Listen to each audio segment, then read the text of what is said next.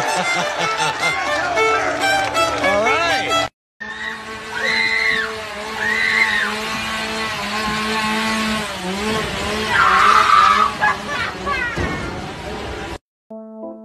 The patient has lost the ability to speak. He's not deaf, and he's technically not mute. What's our first course of action? We are going to put his ass on the first bus downtown. What do you mean he won't get out of the trailer? Get in. Take a look at this guy. What about him? He's a dead ringer for you. He can finish the day for you. Action.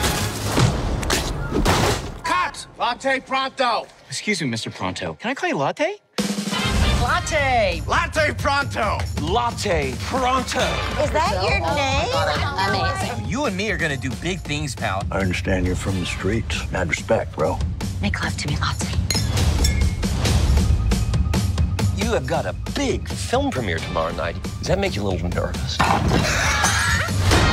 Who are you really, Latte?